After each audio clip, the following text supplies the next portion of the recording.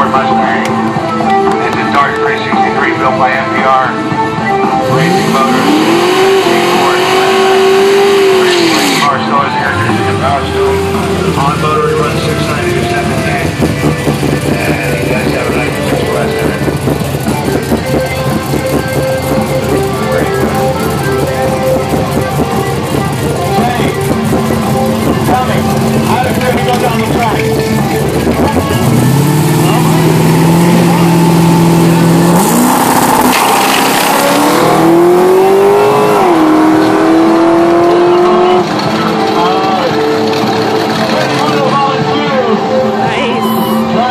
7.698.